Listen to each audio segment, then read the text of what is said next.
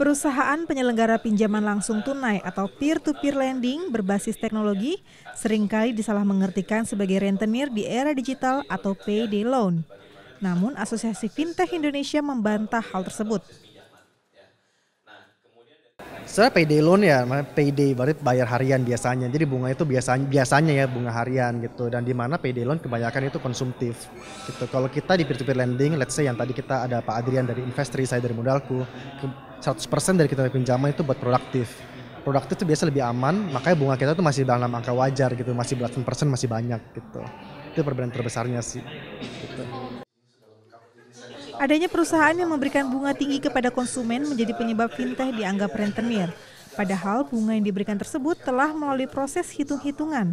Konsumen pun bisa memilih fintech mana yang akan dipilih sesuai kebutuhan. Kalau bunganya dalam batas wajar seperti kita di peer to peer lending kan kemarin ada ada report di 22% kan, di mana kebanyakan kita punya pinjaman itu kan KTA, kebanyakan ya. Dan kalau Anda benchmark dengan KTA dari institusi keuangan formal lainnya, sebenarnya bisa dibilang ini comparable atau bahkan lebih murah. Sebagai contoh aja kartu kredit, itu kan dari lembaga keuangan formal ya, itu kan bisa sampai 30-an persen juga. KTA pada umumnya juga 20-an persen juga banyak, mikro juga 20 persen juga banyak.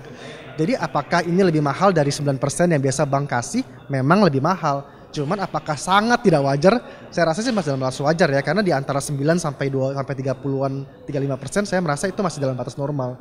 Sekali lagi yang kita yang kita layani adalah segmen-segmen yang tidak bisa dilayani dan biasanya segmen ini lebih beresiko karena lebih beresiko maka bunganya harus sedikit lebih tinggi namun dalam batas yang wajar.